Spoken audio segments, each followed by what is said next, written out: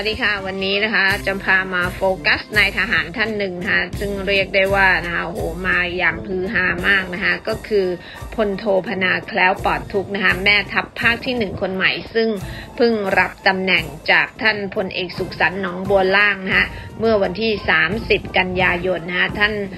บิ๊กโตนะคะพลเอกสุขสรรค์หนองบัวล่างนั้นก็ขยับจากแม่ทัพภาคที่หนึ่งขึ้นเป็นผู้ช่วยผู้บัญชาการฐานบกนะซึ่งถือว่าเป็นเส้นทางเหล็กนะจากแม่ทัพภาคหนึ่งขึ้นห้าเสือแล้วก็จะไปชิงเก้าอี้ผู้บัญชาการฐานบกในโยกย้ายกันยายนปีหน้า 2566 นะ คนนี้ก็ต้องจับตามอง แต่ว่าตอนนี้เนี่ยเรามาจับตามองแม่ทัพภาคหนึ่งคนใหม่ก่อนนะฮะบิ๊กปูพลโทพนาแคล้วปลอดทุกต้องบอกว่าที่ต้องจับตานี่นะคะ เพราะว่ามาแบบโอ้โห เรียกได้ว่า fast track มาแบบ มีสัญญาณชัดมาเลยนะคะตั้งแต่เดือนอพฤษภาคมที่ผ่านมานะคะ2565 นี่นะคะ กองทัพบบกเนี่ยก็เกิดความฮือฮาแล้วนะคะว่าเมื่อมีคำสั่งให้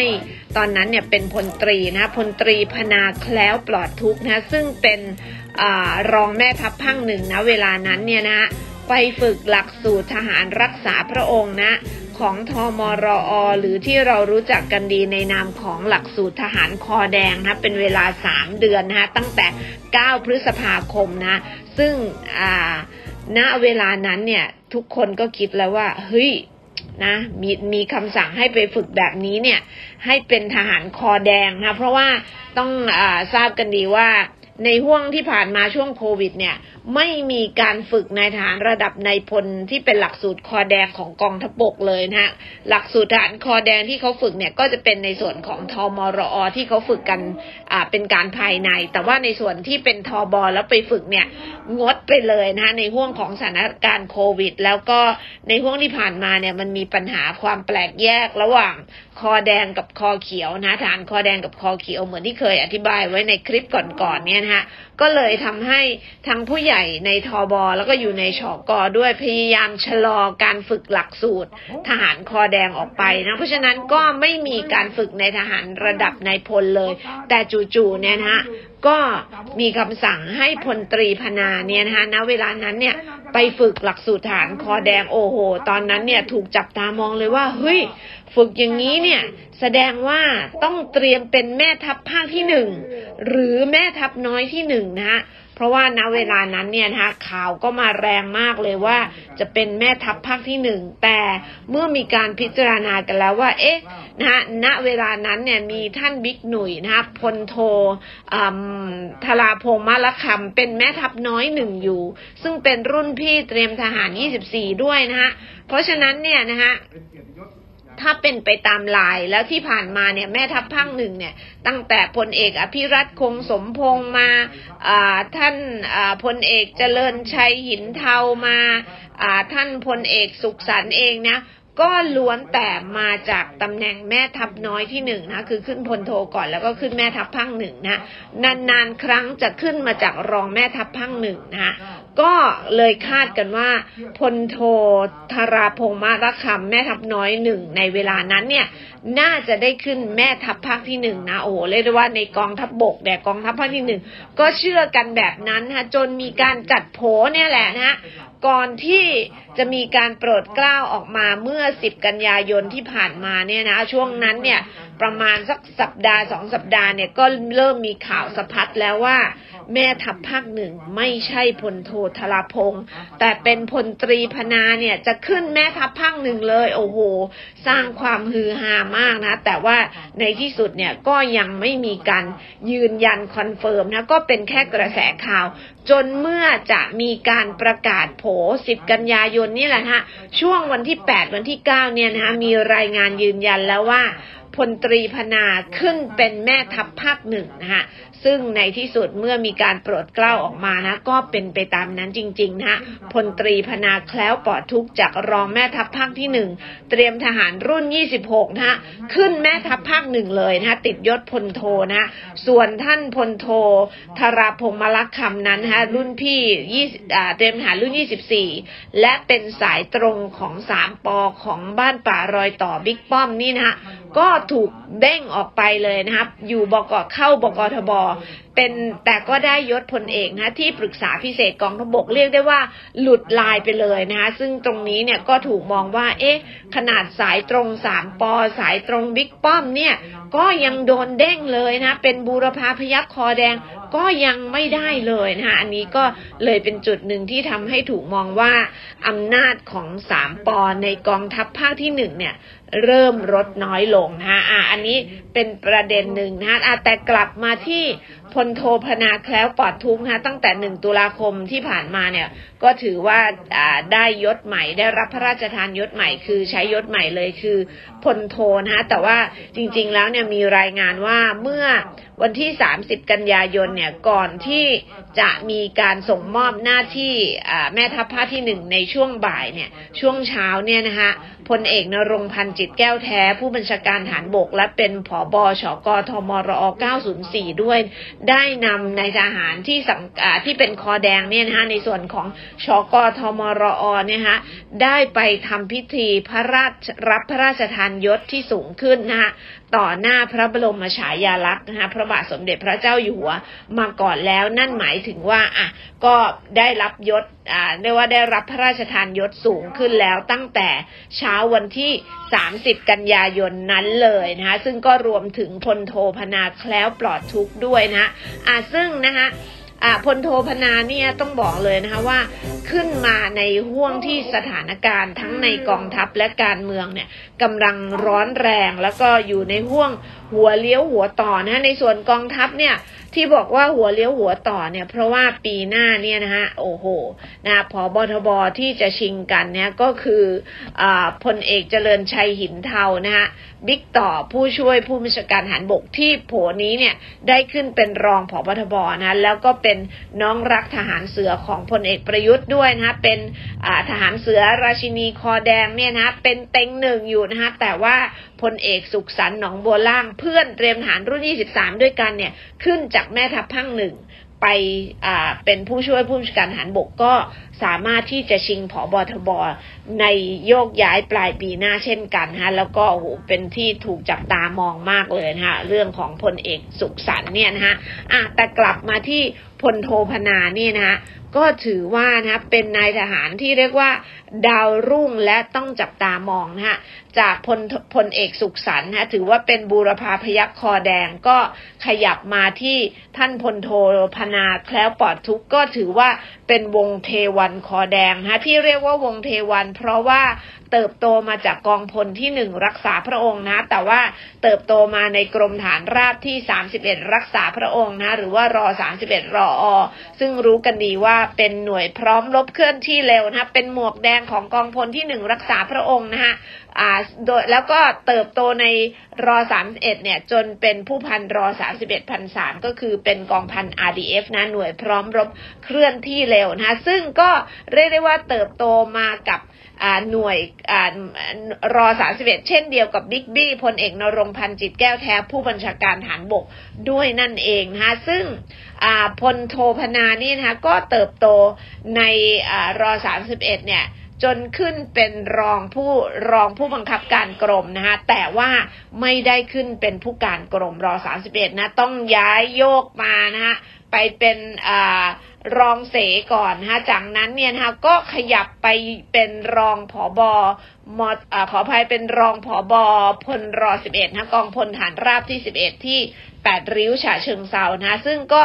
ในขณะนั้นเนี่ยกำลังจะมีการปรับโครงสร้างนะคะก็คือเนื่องจากว่าในห่วงนั้นเนี่ยนะคะกองพลที่หนึ่งรักษาพระองค์เนี่ยนะคะก็ได้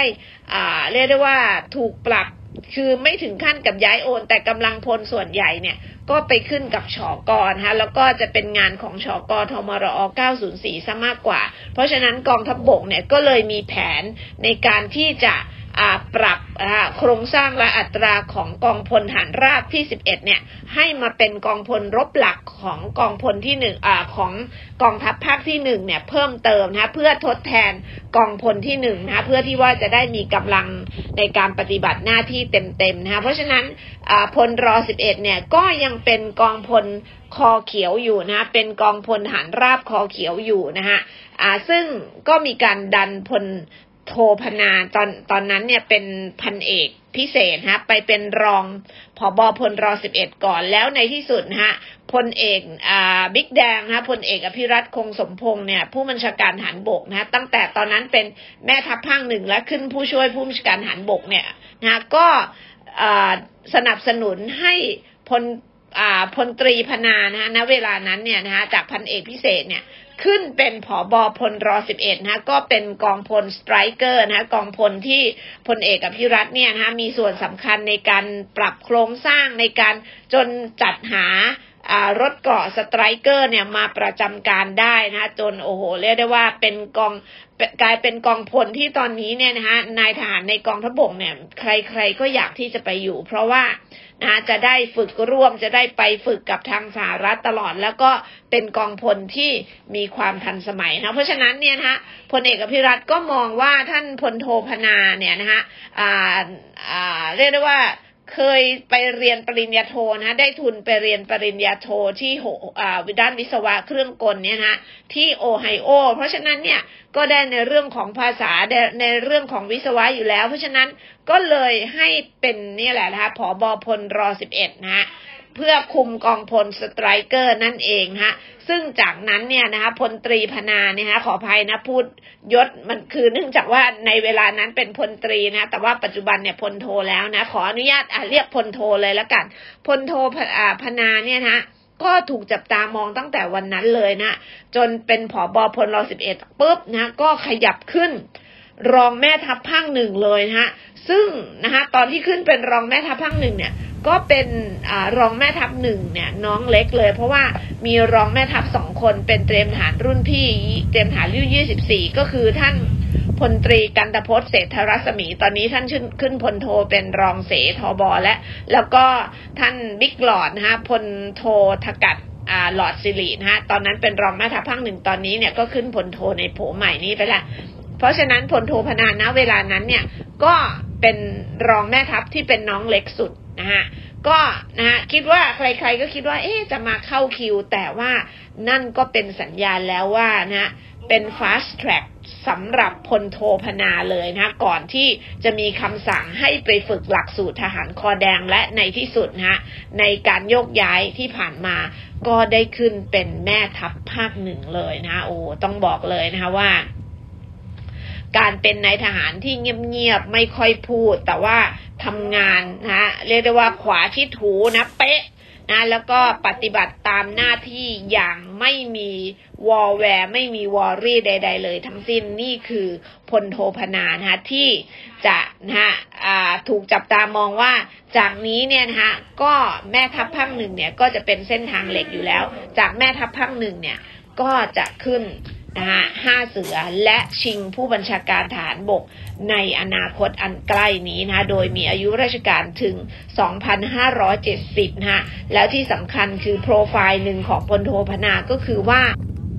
เป็นลูกชายของพลเอกปรีชาแคล้วปลอดทุกข์นะอดีตเจ้ากรมยุทธศึกษาทหารบกนะซึ่งท่านเป็น West Pointer นะจบจากโรงเรียนนายร้อยทหารบกสหรัฐ หรือว่า West Point ที่เรารู้จักกันดีนะก็เรียกได้ว่าทั้งพ่อทั้งลูกนะก็ จบจากสหรัฐเช่นกันนะคะแล้วก็นอกจากนั้นค่ะพลเอกปรีชานะคะก็เคยรับราชการอยู่ในกองพันที่สี่กรมทหารราบที่หนึ่งมหาดเล็กราชวัลลภรักษาพระองค์นะคะรอหนึ่งพันสี่ซึ่งปัจจุบันเนี่ยก็กลายเป็นออยู่ในทมรออไปแล้วนะคะและเมื่อเกษียณราชการเนี่ยก็ได้รับโปรดเกล้าให้เป็นราชองครักษ์เวรพิเศษด้วยนะคะอะก็เรียกได้ว่า ครอบครัวแคล้วปลอดทุกเนี่ยค่ะก็เป็นตระกูลนะที่มีความจงรักภักดีนะคะจะเห็นได้ว่านะคะพลโทพนาเนี่ยนะในคำกล่าวที่รับมอบตำแหน่งนั้นนะคะก็จะมีการพูดถึงการปกป้องสถาบันพระมหากษัตริย์นะคะโดยย้ำว่าจะปกป้องเทิดทูนไว้ด้วยชีวิตเลยทีเดียวค่ะตามที่มีพระบรมราชโองการ โปรดเกล้าโปรดกระหม่อม ให้กับผมดำรงตำแหน่งแม่ทัพภาคที่หนึ่งรับราชการสนองพระเดชพระคุณในครั้งนี้ นับเป็นพระมหากรุณาธิคุณล้นเกล้าล้นกระหม่อมอย่างหาที่สุดไม่ได้ เป็นเกียรติยศอย่างสูงสุด